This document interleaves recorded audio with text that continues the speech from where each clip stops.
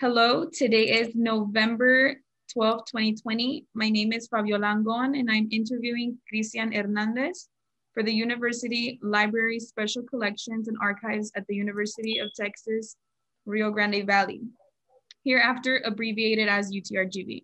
This project is in partnership with the Voces Oral History Center at the University of Texas at Austin. Please know, Mr. Cristian Hernandez, that this interview will be placed in the University Library Special Collections and Archives at UTRGV and shared with the Voces Oral History Center at the University of Texas at Austin. If there is anything you do not wish to answer or talk about, I will honor your wishes. Also, if there is something you want to talk about, please bring it up and we'll talk about it. The University Library Special Collections and Archives will archive your interview along with any other photographs and documentation you are willing to share. UTRGV University Library will retain copyright or non-exclusive right to the interview and any other materials you donate to special collections and archives at UTRGV. Because we are not conducting this interview in person, I need to record you consenting to make sure you agree with our interview procedures before we continue. So I'll ask you a series of six questions. Please say, yes, I agree, or no, I do not agree after each question. Mm -hmm. Do you give um, University Library Special Collections and Archives at UTRGV consent to archive your interview and your materials at the UTRGV University Library? Yes.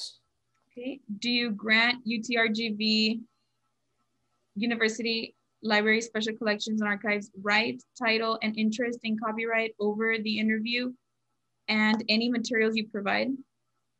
Yes. Okay. Do you agree to allow UTRGV University Library Special Collections and Archives to post this interview on the internet where it may be viewed by people around the world? Yes. And do you grant the University Library Special Collections and Archives consent to share your Zoom interview with the Voces Oral History Center at the University of Texas at Austin for inclusion in the Voices of a Pandemic Oral History Mini Project which will include posting the interview on the internet. Yes. Okay. As you recall, we previously filled out a pre-interview form. We use information from the pre-interview form to help in research. The entire form is kept in a secure Voces server at the University of Texas at Austin. Before Voces sends it to UTRGV, University Library Special Collections and Archives, we would have stripped out any contact information for yourself or family members so that will not be part of our public file. Your public file will only be accessible at UTRGV University Library. And the final two questions ask for your consent on what I just described. Do you wish for us to share the rest of your interview in your public file available to researchers at UTRGV University Library Special Collections and Archives?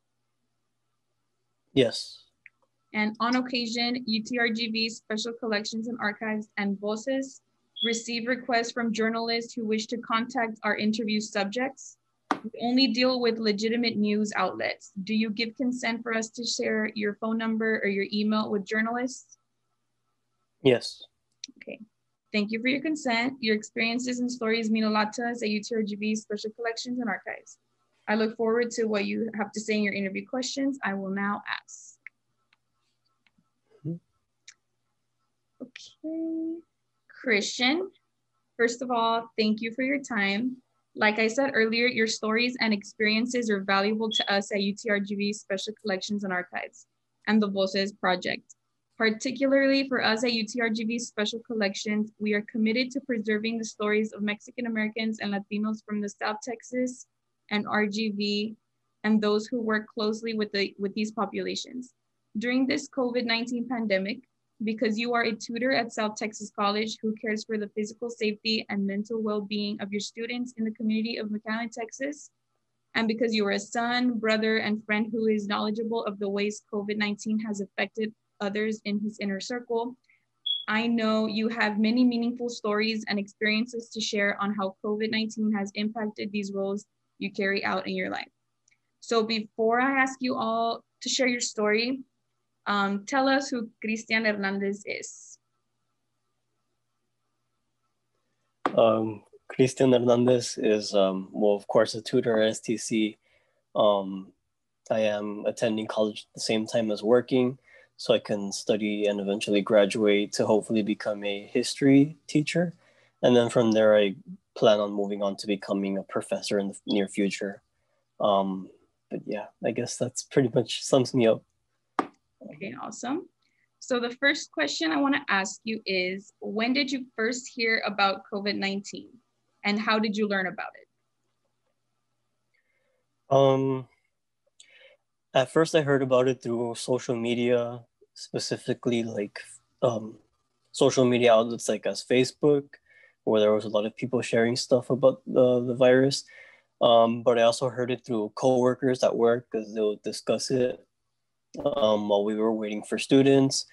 Um, but of course, I furthered my understanding of this virus through my own research through Google and stuff like that. Okay. What was your first reaction to the information about COVID 19? My first reaction, of course, as everyone reacts to a deadly virus, is fear, of course. Um, social media made it sound like the Black Plague. I'm not sure if they're exaggerating or not, but I would also see like sad stories with this virus. So it also, like, I guess, you know, emphasized my feeling of fear of this virus that was um, spreading quickly throughout the world. Got it. Um, at what point did you realize this pandemic was a serious life altering event? Um, I guess again, because of social media, I realized that this virus was very deadly. Um, but then I would always hear other people saying that it was just like a flu. So I felt kind of confused by what people were saying. I wanted to know what the truth was um, because you know, it was mixed. Some people said that it was deadly, and then some people were saying that it isn't deadly. It's just like a normal virus that someone goes through. Um, but yeah. Yes. Um, over the last few months, what news media, social media, or other sources do you rely on to keep you informed about the virus?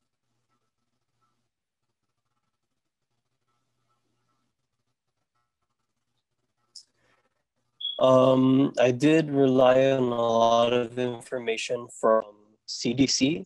Um, I also paid attention to many federal and state government public statements. Um, as for social media, of course, I already stated that I used Facebook a lot because if I'll post something about the virus, their opinions about the virus. So that made up my main source of information. And can you share with me what you understand about COVID-19 as an infectious disease? I understand that the COVID-19, it is a contagious virus which targets the respiratory system of a person. Um, it's capable of making them nauseous, feeling chest pain, I even hear some people said they were having trouble breathing when they contract this virus. Um, I've also heard that it's very life-threatening to the lungs. That some people have been their lungs thanks to this virus, life-altering virus. Okay. Um, likewise, can you share with me what you don't understand about the virus? If there's something you don't understand about it.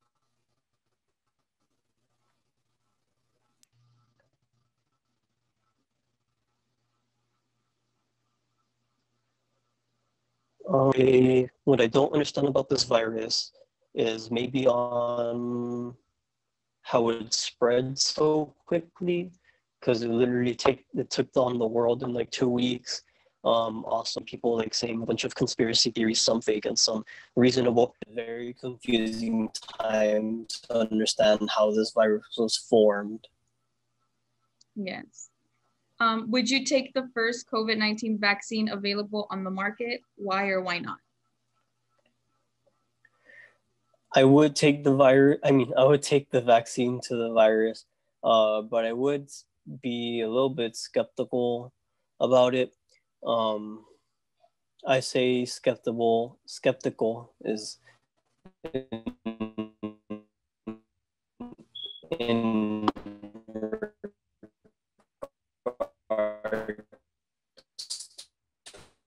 its effectiveness. Um, of course, I did take a test to test the for the if I had the COVID virus, and I did not begin getting sick until I after I immediately took it. So that's why I would be a little bit skeptical about the vaccine. Got it. And do your family hold the same beliefs as you about COVID 19, or are there some members who take it more seriously or lightly? Um, yeah, I feel like it's a very universal thing about the thoughts and opinions about this virus.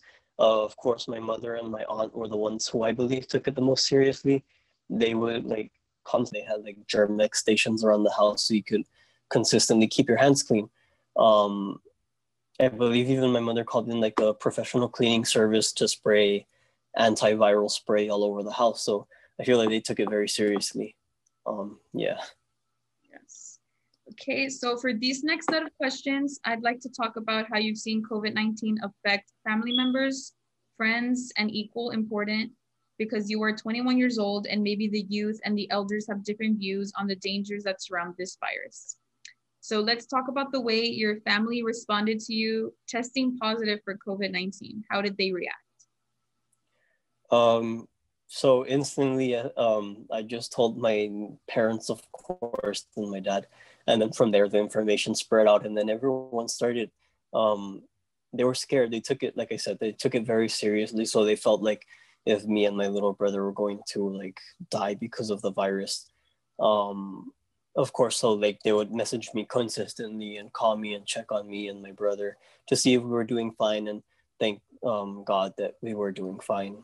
Um, but yeah, there is some confusion between the youth and then the elderly being with like health and whatnot. Yes. Um, how did you feel right after finding out that you tested positive? Um, honestly, after finding out, it's strange, but I actually wasn't bothered by it. Um, I feel like mainly because I was kind of shocked that I got it because they said that I was asymptomatic because I have no symptoms whatsoever, but my test came out positive, which was very strange to me. So instead of being like, oh no, I'm gonna like suffer because of this very deadly virus, instead I was trying to be like, where did I get this virus from? Because I did take the ne- necessary precautions. Um, I always wore gloves. I always washed my hands. I always wore a face mask. So that's why it was kind of strange that I got the virus and that I had no symptoms. So I guess my mind was too confused on something else instead of feeling fear. Got it. And what was pre quarantine life like for you? So that question, um, so pre life quarantine honestly was exactly the same as during life during quarantine life um, i never really went out anywhere other than work school or to go shop shopping for groceries or clothes um, yeah so it's practically the same as quarantine life only now i have to work from home and such and take um, classes virtually that is something that i miss taking classes um, in person, and getting to know my fellow classmates and my professor. Um, but yeah, in my pre-life quarantine, I did exercise and I ate healthy a lot. So I feel like that actually like prepared me for this virus in a way to withstand it.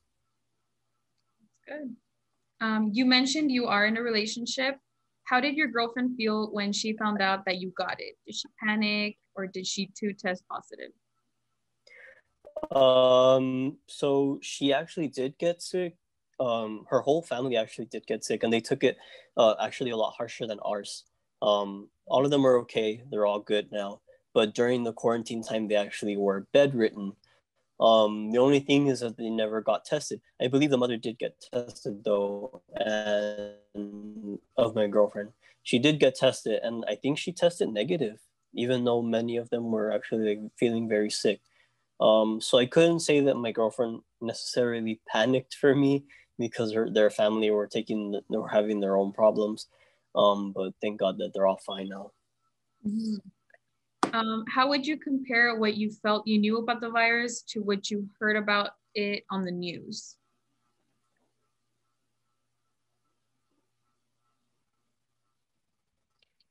Um, about the virus.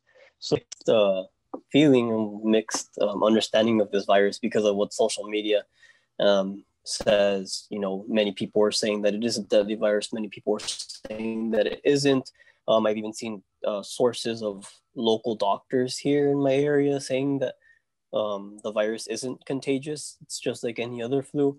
Um, so at first, you know, I felt like I personally did think that the virus was deadly, but it wasn't after until at, when I got the virus firsthand and felt its, um, you know, its symptoms or however you call it, that I realized that yes, it is just a minor flu, but some people do take it harsher than others, like the elderly and those people. Um, before getting sick, did you take any extreme or drastic measures to prevent uh, contracting COVID 19, like the ones we saw on social media, like the gas mask or the people that would cover from head to toe or double gloves, anything like that? Um, so not necessarily. I did, but I have uh, thought, you know, I should just wear a whole like suit to really like avoid this virus. And I mean, what a perfect time to go out dressed like that. Um, but no, I didn't actually do anything serious. Um, I do have a gas mask, but no, I'm not gonna use it for that. Got it. Um, you also mentioned that prior to getting tested, you felt no symptoms. How do you feel knowing that you took the responsible decision in getting tested even without feeling symptoms? Um, as to like my feelings, mm-hmm. yeah. So I felt that I felt like I did good, you know, because um, I do know that there have been times where there's some people that did get tested positive and they still continue to go out in public and they spread the virus. You know, it's a very selfish thing that some people do or not wear masks. Um, so as soon as I got it, the first thing that came to my mind is that I need to email my boss and tell them that I had the virus positive. And right away, human resources called me and they told me all this stuff, you know, um, if I continue to feel sick, they can help me out and that they're there for me. So that was really good on their part and STC's part. Um, they responded really well to um, me testing positive. Um, but I felt good. I felt good telling everyone that I had the virus, so that way you know they can keep their six feet or further if they want. Um, you know, just so they can be aware of the virus that I had it. Mm-hmm. Um, you shared with me that you have a brother, um, and having been close to your brother, did he test positive too? Yeah, so all three of us got tested me, my mother, and my brother. Um, so my mom was the one that was feeling sick. So that's why we went to go get tested. Um, and me and my brother were completely fine. We were normal. When we get, also all three of us got the test. Um, so when we get back the results, me and my brother tested positive, and we're, we're both like, "What? Like, how did we test positive?" And my mom, who says she had symptoms, tested negative. So that's why it was so strange, and why I began to be skeptic about these tests. Um, but they said that I was asymptomatic, so it was normal. So because me and my brother were tested positive, basically what we did is quarantine, of course, for two weeks, 14 days um, in my room so we were just here watching TV or uh, video games and stuff like that. Um, but I'm pretty much the only one that took on the symptoms. Um, thank God that my brother was fine. He's younger than me, and I didn't want him to feel anything, and he didn't. He was actually fine the entire time. Um, not even his temperature rose, so that's why it was kind of strange that he tested positive. Oh wow. Um, yeah, but uh, so yeah so that's great i took on the weight i guess because i did uh, get nausea i did get feelings of vomiting the best thing is that i did not get any um, how do you say it chest pain or i did not get any trouble breathing because that would have been so scary you know uh, not being able to breathe so basically what i did is just go outside you know an hour or two, five hours um, get some exercise in as well to keep my lungs active and not um, bedridden. Yes. Um, so, what struggles, if any, did you face at home with COVID 19? At home, the struggles. Hmm. I would say boredom. boredom for sure. Um, I mean, everyone complains in quarantine that they're at their home. Um, but try being in your room for an extended period of time, just in the small confined area. It's way worse than it is. Um, so that's why I would go outside to get my breaks and stuff, and I would distance myself from my mother as well as my brother. Um, and everything came out all right. But yeah, I'd say that boredom was probably the biggest problem that I had at home. Got it. Um, so now some more personal work related questions. When it comes to your emotional state during COVID 19, what did you do to stay sane in times of hardship? So, like, what did I do to keep myself like occupied in a way, like sane? Yes.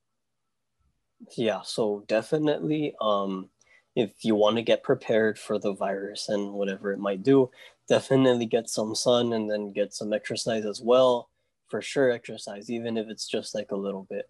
Just you need to have your body working um, to keep yourself sane and not just be there at home laying down in a chair or something. Um, I believe you also need to get your mind working. So like instead of watching TV, maybe read a book or something or learn something new. Um, just I guess try to find ways to improve yourself. That's basically what I did during my time in quarantine. Um, I would read books and surf the web and looking for things how to improve myself. That's really good. Um, can you share your experience more in depth? Like what do you mean? Like experience of what? Um with your like emotional state. Like were you sad angry confused so i never really got mad i never really got sad honestly um I didn't really feel scared either that I had the virus, which is something strange. You know, having the virus means that you would be scared, especially if you had it, if you tested positive for it. But I feel like um, this is like on a faith related level. I feel like my faith is what basically had me like emotionally stable throughout the time of, you know, me having the virus. So my faith of God. Got it. Um, what did you feel before contracting the virus? What did you discover about both the virus and yourself? Um, what I discovered about myself, um, I guess that I am a strong person in a way, emotionally and mentally, to be able to like you know take on the um, the course of being in a small area for so long, as well as having the virus. Um, I also found out that medicine tastes really bad because I did get some uh, medicinal medicine to cope with the virus, even though the symptoms were very minor. Well, not minor per se. I guess maybe it's just like depending on the person's pain tolerance, but um, I did take some medicines to cope with the virus. Um, but yeah.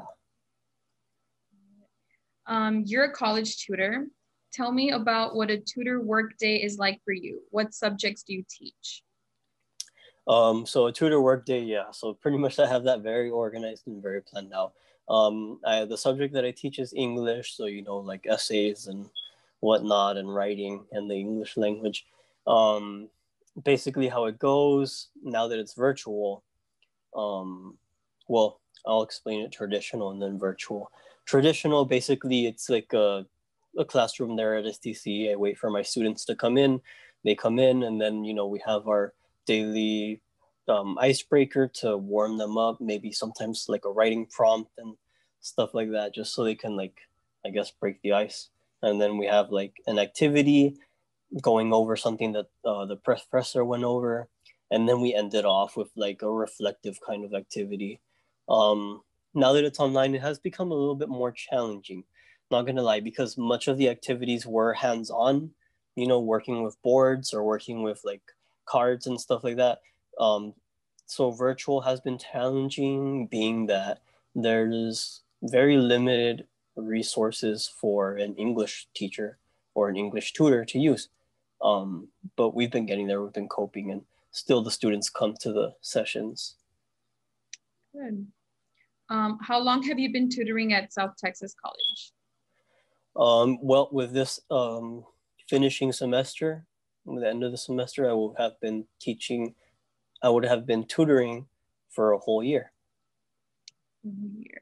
Um, can you share with me what you enjoy the most about your job? I enjoy being a part of STC. I never would have found myself being part of such a prestigious um, um, organization, especially like STC. It's just, I don't know, sometimes I reflect on myself and like, wow, I'm actually working for STC, which is something awesome. Um, especially as a um, English tutor, it's just something crazy. Um, I love it. Um, do you think that South Texas College tutoring department handled the dangers of COVID-19 properly?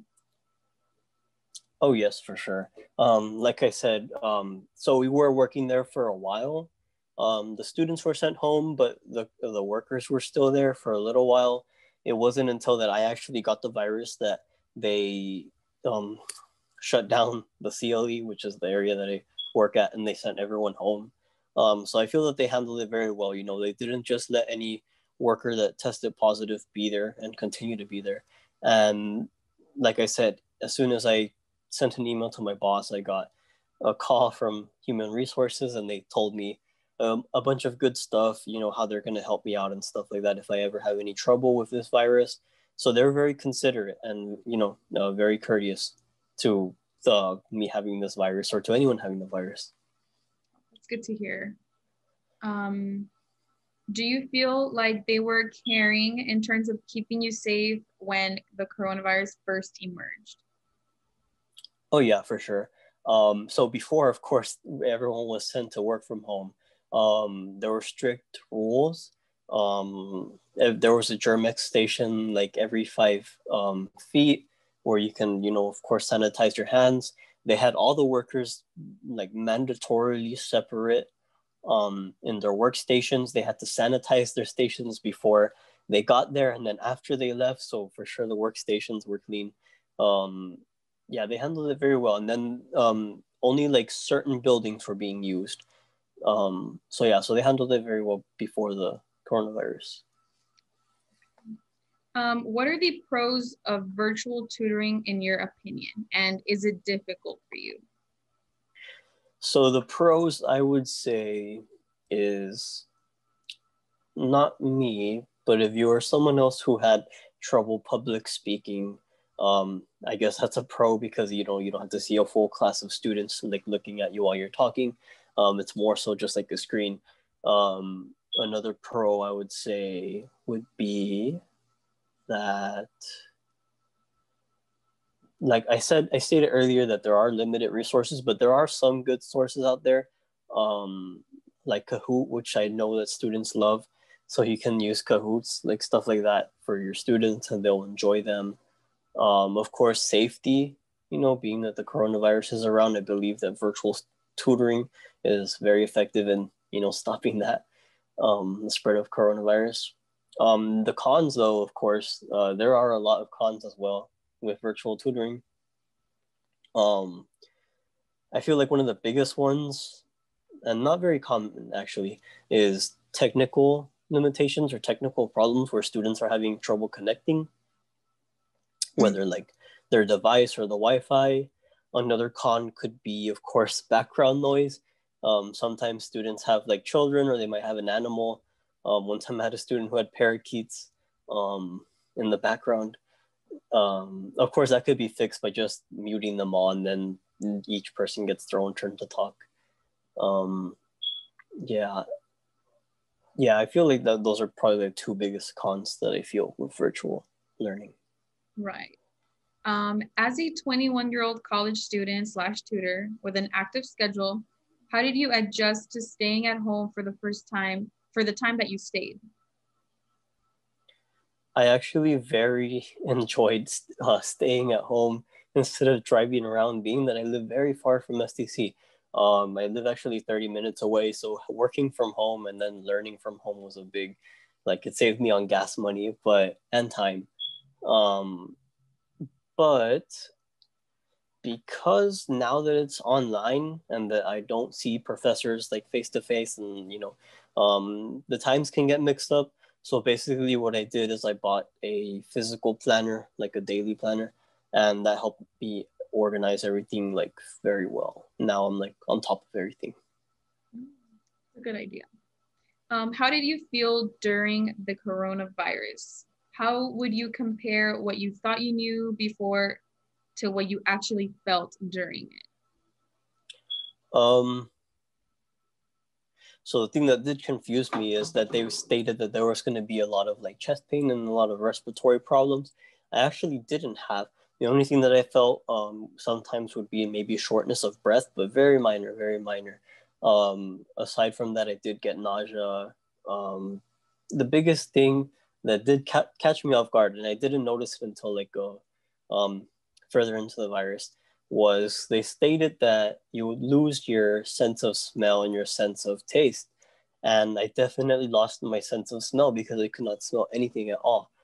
I, rem- I, I realized this when I was going to make some, I believe it was blueberry, blueberry pancakes or blueberry muffins. And there was the mix. And, you know, of course, the mix gives off like a very like good smell. Um, my brother commented on it saying that it smelled super good and I put the bowl like to my face and I could not smell a single thing. So that's something that, you know, I did not expect to lose my sense of smell and it did not come back until like, I don't know, uh, three months after or two months after the virus went oh, away. Interesting. Wow. Um, can you name a point in time during quarantine where you felt that your life changed from having COVID 19? Where my life changed. Um, Hmm. I wouldn't say my life changed. Um, I'm very grateful that nothing serious happened due to the virus. Um, the only thing, of course, that did change was, you know, someone giving you like the side eye because like you tested positive for quarant for um, COVID. So I guess that sort of like you know mm-hmm. extreme social distancing now. Um, but yeah, that's the only thing um, I guess that changed. So now that you've shifted back to normal life, what do you think you got out of COVID that you would consider a positive? A positive. Hmm. Can you give me some examples? Like, do you feel like you appreciate life a little better? Or do you feel like um, anything negative came out of it? Like you became such of a homebody now that you forgot like social skills, like anything new that you got from that? Hmm. On the positive side, uh, I guess it kind of helped me with. I mean, I already have a good amount of self esteem or like self respect. Um, but I feel like it made me realize that I am, I guess, healthy or something or like fit. Um, being able to take on the virus, a very deadly virus, um, so I guess it helped me understand that I'm, my body is actually like capable and strong of standing that virus. Um, on the negative side, I feel like my social skills might have been affected by staying away from, you know, like large groups of people for so long. Um, especially being a tutor where I have to talk to people. Um, I feel like I need to regain my social skills again. Yes. Um, so work-related challenges as an STC tutor do you feel like your job as a tutor is being appreciated or acknowledged more now than ever? Do you think your tutor title is now more essential than it was before? Oh yes, for sure. Yeah. Um, so on the first question, if my work did appreciate us more, for sure. Um, because now it's a lot harder. Um, it was like all of a sudden we just had to shift from personal teaching to virtual teaching on like the press of a button. So for sure, we had to have some form of appreciation, and they did appreciate us. Eventually, they gave us um, social distance and regulation, of course. Um, they gave us um, some goodie bags to, I guess, to show appreciation of our hard work and dedication to CLE and STC. Um, as for um, tutoring, for sure, um, I know a lot of this same shift that happened to workers I know that it also happened to other students who prefer learning on campus and traditional campuses where they see the professor and meet them and meet other students, for sure they took it very harshly. Um, now they have to do everything virtually, and I know it can be hard for them to develop discipline, to stay on schedule and finish their assignments on time. Um, so being a tutor, I know that many students have been thank many students have thanked me for helping them out, especially during this time where it's very um, demanding to switch to virtual learning. Totally. Um, did you get a pay raise or paid at all?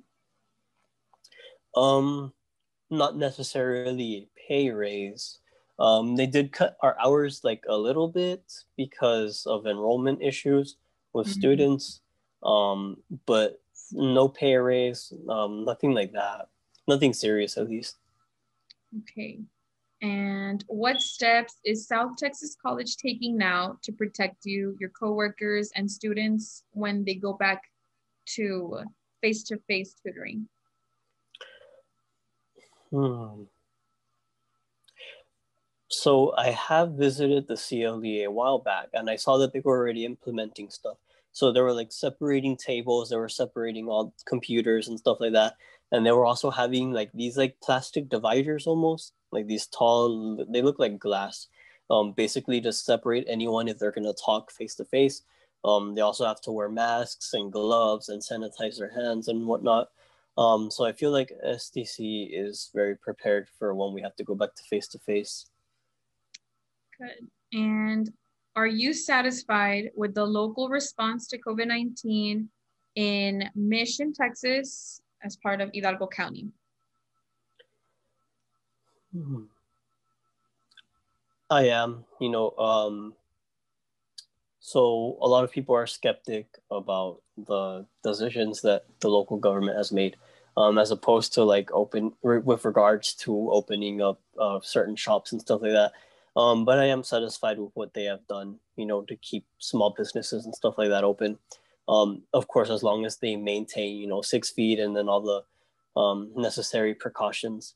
But yeah, I am satisfied. They've also implemented curfews and stuff, anything to get um, this virus to die down. Yes. Are you satisfied with the state response to COVID 19 led by Governor Abbott? Yeah, I am. Yeah, he's done some um, decisions that are helped, I guess. Okay. Sort of, you know, stop the virus. Are you satisfied with the national response to COVID 19 led by President Trump and his administration? Um,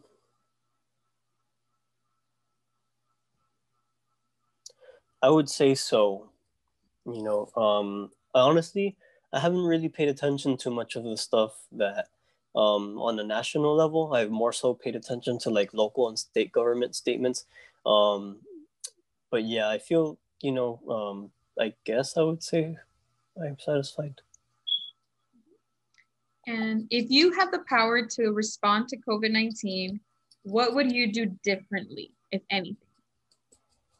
Hmm.